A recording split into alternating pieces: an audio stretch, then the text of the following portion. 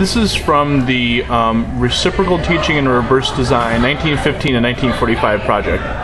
Um, for this part, students were to create a poster to explain how the topic um, that the students had to teach about was related to other presentations from that same day, and to have the connections stated in terms of causes and effects.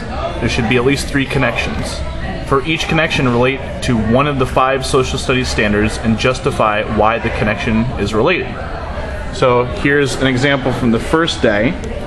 We have a cause, um, new tools of war, machine, poisons, gun, um, sorry, guns, poison gas, armor tanks, and larger artillery. Um, what's this word?